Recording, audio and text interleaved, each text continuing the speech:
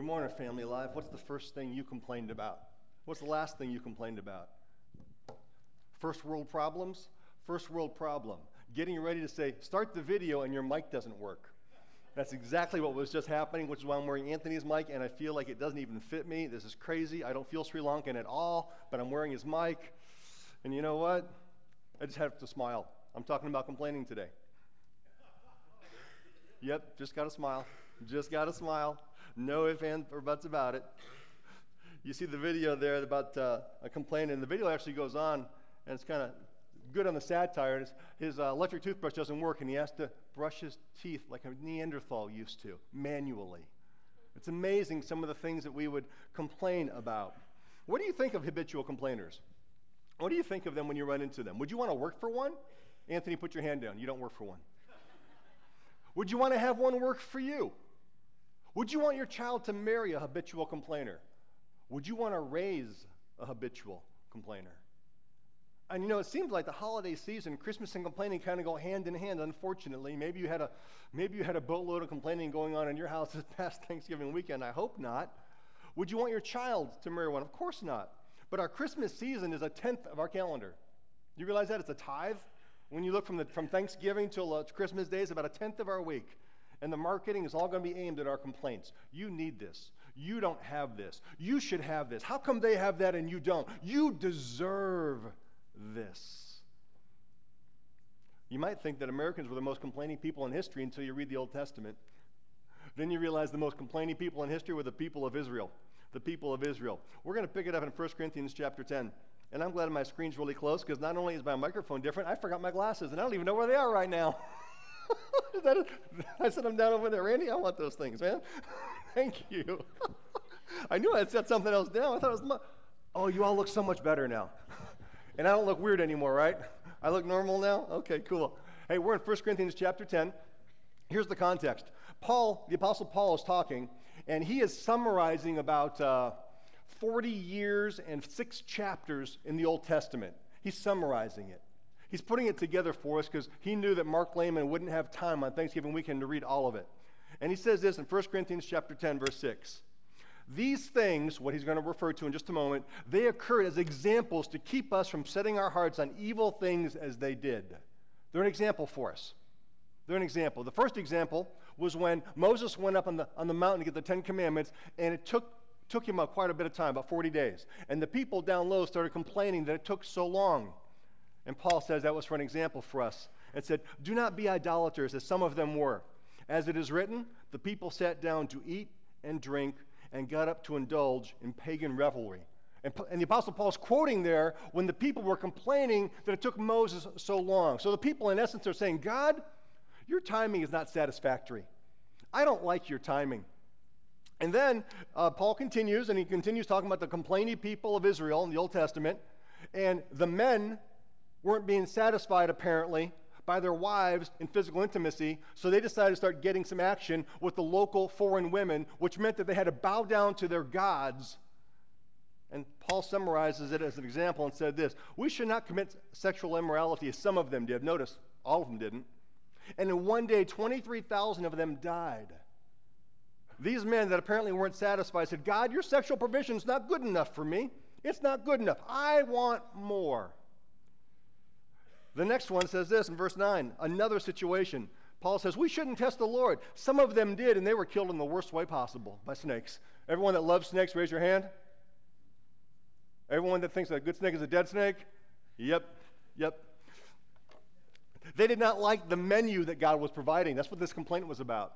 They didn't like the food that was being offered that God was providing them in the desert. So they complained, and some of them were killed by snakes. And they said, God, your supply is not good enough.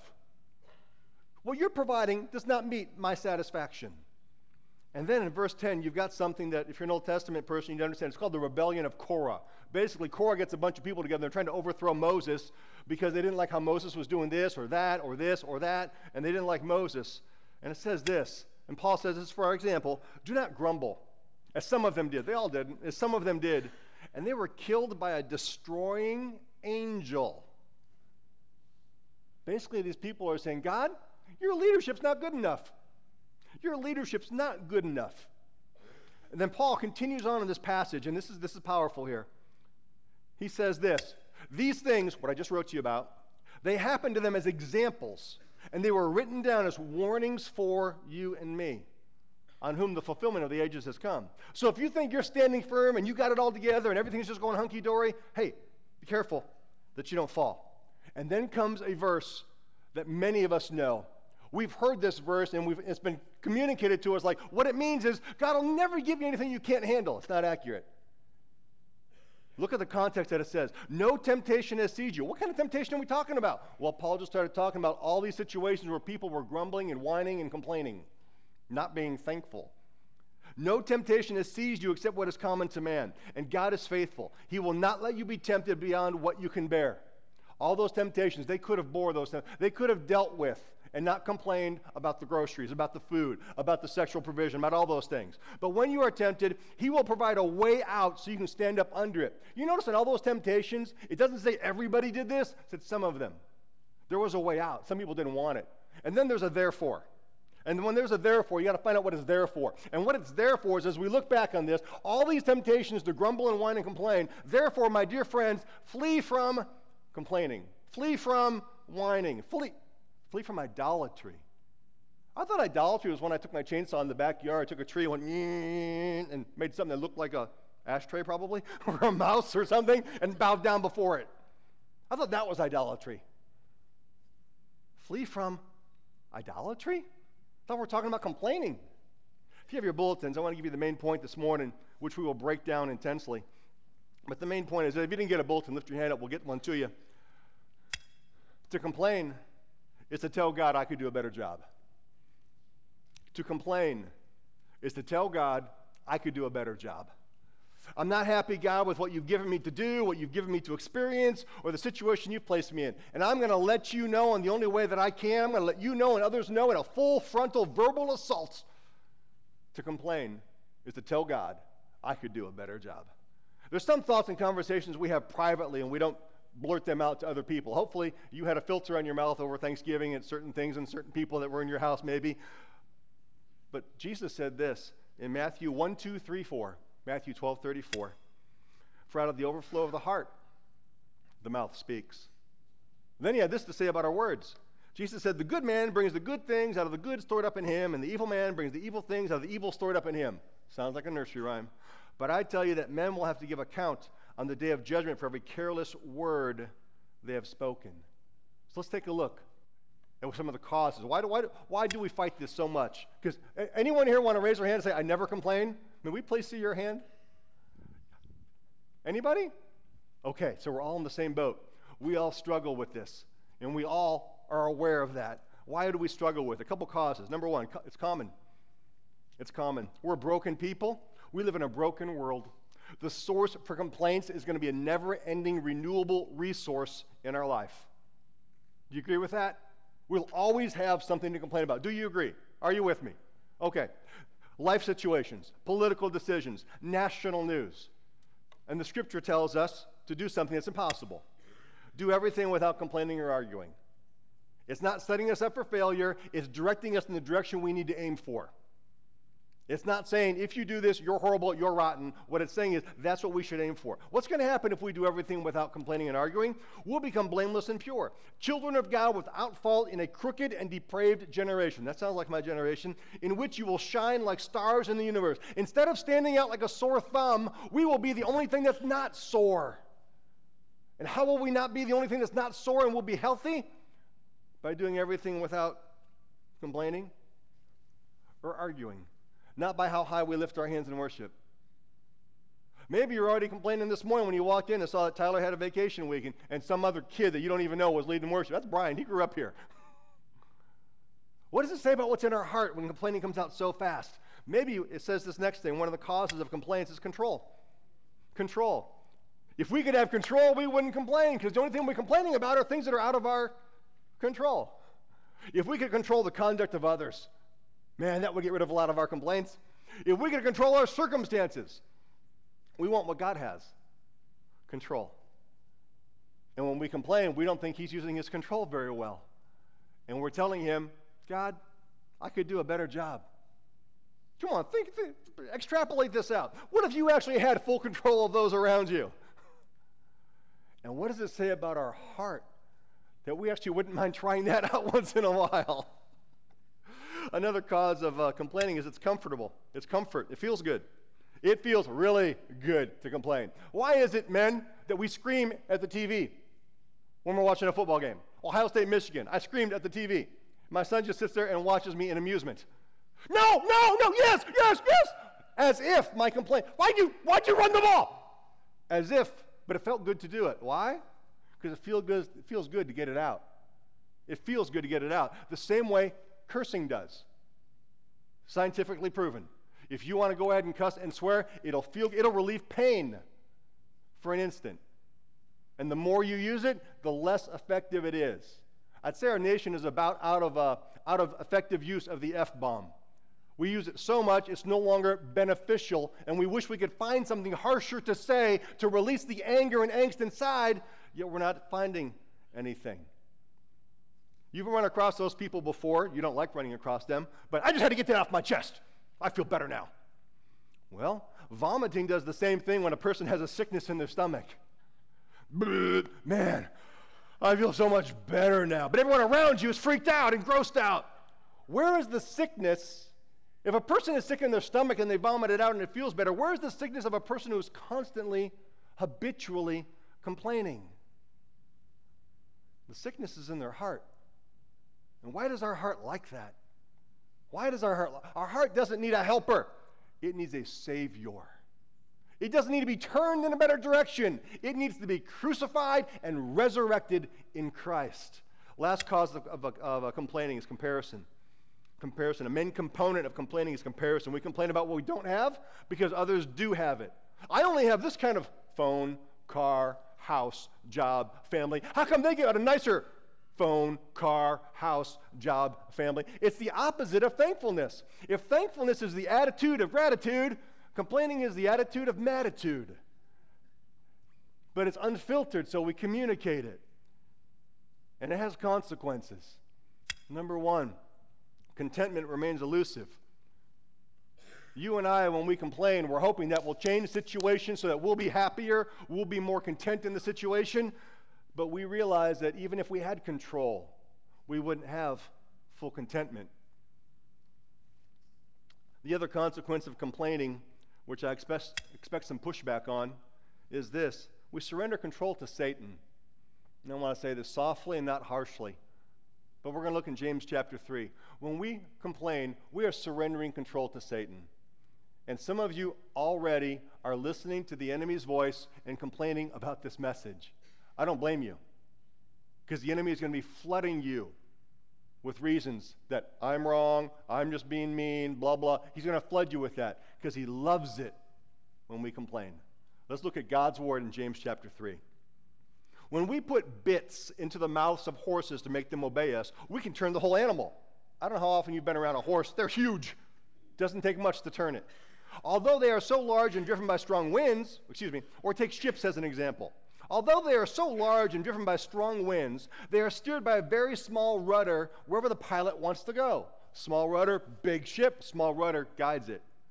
Likewise, in the same way, the tongue is a small part of the body, but it makes great boasts. Consider what a great forest is set on fire by a small spark. That's where Bruce Springsteen got that line, I think.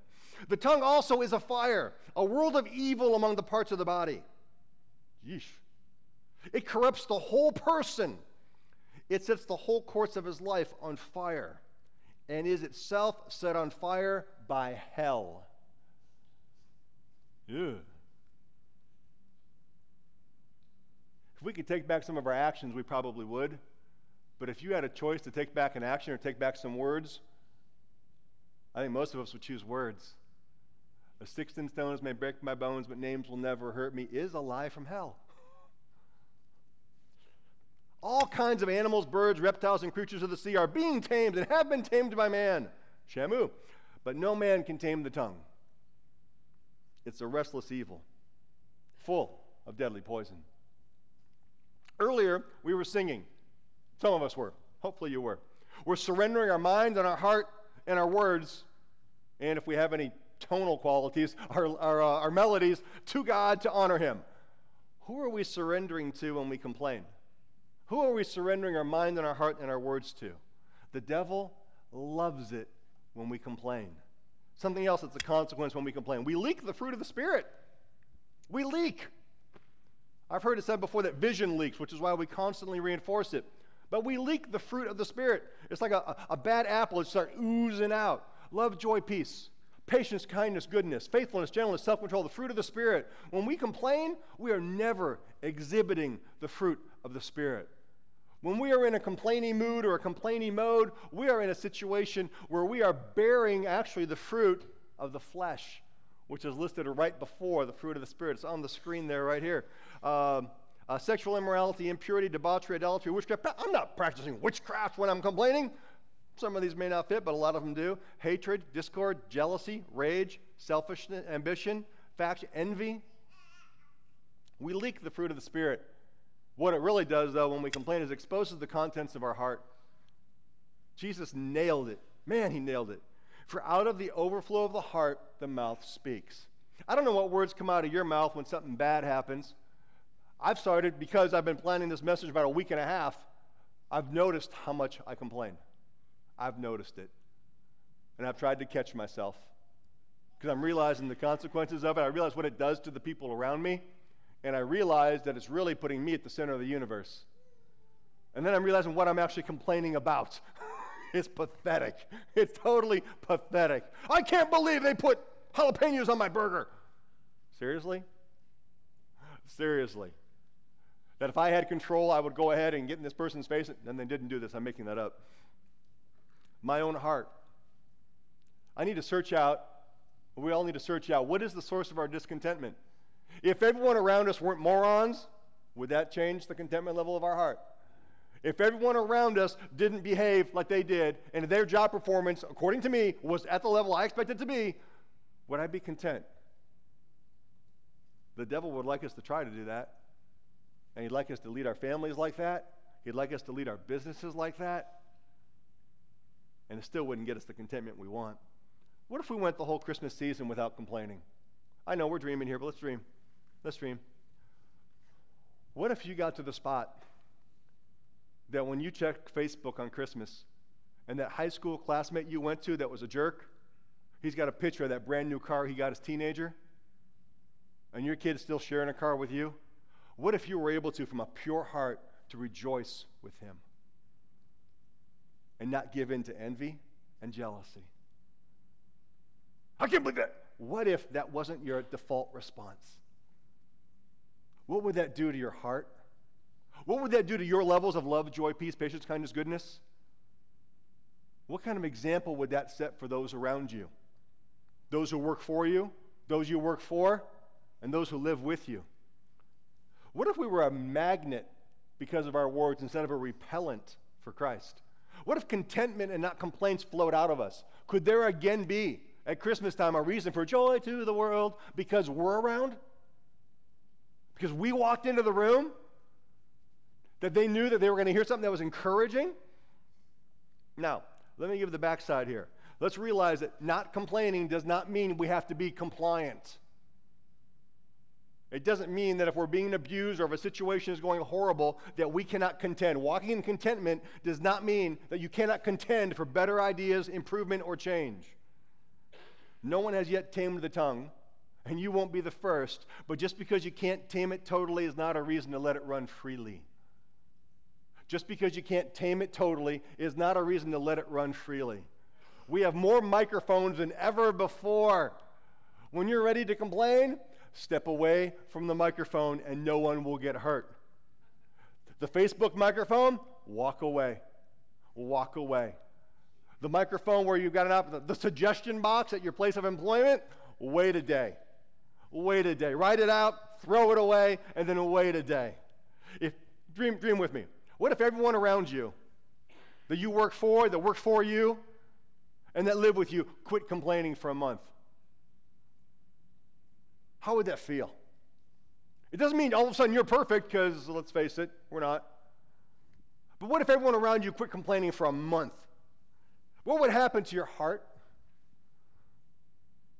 What would happen to your mind? What would happen to your confidence? What would happen to your money? What would happen to your spirit? What would happen to your love, joy, peace, patience, kindness, goodness? Now, let's face it, they're all not going to quit complaining, and you have no control over them. But what if you did? What if you went the entire Christmas season without complaining? What if you did? The cure for the common complaint is the cute title I threw on this message. And the cure for the common complaint is actually part of the cause of the common complaint. And it's control. It's on the screen. I forgot to click. Sorry. Click. There you go. The cure for the common complaint is still control. But what can we actually control? We cannot control our circumstances. We've tried. It's miserable. And we make everyone around us miserable. We cannot control the conduct of others. We've tried. It makes them miserable, then we get miserable.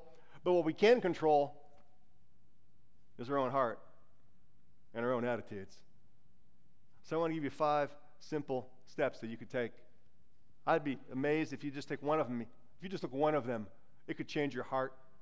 It lines up with God's word. Number one, count your blessings. Count your blessings, literally. Literally. I triple double dog dare you to count your blessings. Last year at Thanksgiving, I actually did it. And I put it on the screen. I didn't want to repeat it for a thing I was just repeating the same message.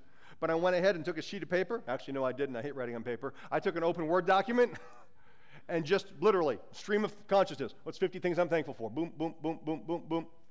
I did just fine about 35. Then I had to work at it. Why would we think thankfulness would be natural? Complaining is natural. Could you come up with 50 things to complain about? Oh, yeah, come on, give me a sheet of paper, Pastor, I'm ready to go. What about 50 things you're thankful for? And a number of people from the church actually went ahead and did that and posted it on Facebook. I put mine on the screen last year. Here's, here's what I'm thankful for. Count your blessings, literally. You have no problem going ahead. Here's the five things my football team did dumb yesterday. That's your fire that coach. What about here's five things that I'm thankful to God for? It'd be powerful. It's a redirection, is what it is. Parents, you've done this. You will buy me candy. Look at the flower. Look at the flower. it's a pretty flower. What is it called? Redirection because of an immature attitude. Because the kid's five and he got told he can't have candy. You may be as old as 48. Dear God, I hope you're not, but I am. But it doesn't mean that we don't need to purposely redirect when our heart is being tempted away by an enemy. To redirect and say, No, I'm not going to focus on that. Yeah, I wish my microphone would work. Yeah, but I'm not going to focus on that. Lord, I'm going to thank you. I got people to speak to today. We need to change, number two, change perspective. Every, every bit of words needs context, and complaints need a context. What's the context for our complaints? Turn the camera on yourself. Nobody likes it, except teenagers taking selfies. But turn the camera on yourself. If God hears every word and every thought that comes out of us, what would it be like to have God's view on our conversation for the day? I've done this. When I review my day, there's moments I'm going, thank you, God. There's other moments I'm going, oh, I said that. Oh, man. Hopefully, should drive us to repentance. Repentance isn't, isn't a fancy word that you use to beat yourself over the head with. It means I need to change the way I think and act. And that power is not going to come by my goodness or willpower. It's going to come from Christ in me. If we would review our day, we would repent. If we could see what God sees and what everyone else around us sees, we would see the words that come out of our mouth and the prophanotype over our head that our faces communicate. Hey, how you doing? We would repent. Next, a cure for the common complaint is to confess it to God. You mean, Pastor, when I complain, I should say, God, I'm sorry I complained? You could do that. But I'm saying actually confess, tell God your complaint. Pray it out so you don't spray it out on everybody else. Pray it out to God so you don't spray it out on everybody else. Confess it. I need to get this off my chest. You're right. You do. But everyone around us, everyone around you, doesn't need to be on the receiving end of that, especially if they don't have any power to do anything about it. If you don't talk it out to God, you'll end up taking it out on others. And then you'll regret you took it out on others, and everyone's complaint level goes up high. And the love, joy, peace goes like this. Next, crush the entitlement mentality. Crush the entitlement mentality. But I deserve this. I've served God. I've done this. I've given my tithe. I deserve that. Anything you think you deserve, you're not grateful for. Think of something that you think you deserve. And if you don't have it, you're mad. And if you do have it, you're not grateful for it because you think you've got it coming anyways. When I check God's Word and I look at God's Word next to my life, I realize what I've got coming to me. And I don't want what I've got coming to me. I want God's grace instead. I'm not going to stand before God and say, Give me what I've earned. Not a chance. I don't even want to go to my wife like that. Any, any man want to do that? Give me what I've earned? No one wants to. We know what we've earned. If we'll take a moment and step back and realize that our Savior, who had nothing, challenged us, if you're going to follow him, to deny ourselves daily and take up his cross. This is not a casting out thing, this is a daily crucifixion. Lastly, and maybe most practically, choose a healthier default response. Choose a healthier default response. And Brian, if you want to bring your team up, that would be good. Choose a healthier default response. What do I mean by default response? Your go-to response that you don't have to think about. Hey, how you doing today? Most people say, fine. And there's like 50 million ways to say it, isn't there? I'm fine. Fine. Or fine. I changed my default response about three or four years ago, literally. I changed it. Anybody know what it is? When I, I know you do. Anybody know what it is? Dale, what is it? I'm blessed. I'm blessed. Pastor, that's cute. It's fake, too. No, it's not fake. It's not fake. I'm blessed. Yeah, but you say sometimes when you don't feel blessed. You're right. That's not fake, it's filtered. It's filtered. Feelings expressed unfiltered are foolish. Why would you not? Would you want your child walking around with a filter on their mouth? Yes, you do. You train them to do that. You want your employees to walk around with a filter on their mouth. It's a filter. If I'm not feeling blessed, I can still confess that I am blessed because I am blessed. I am wholly blessed.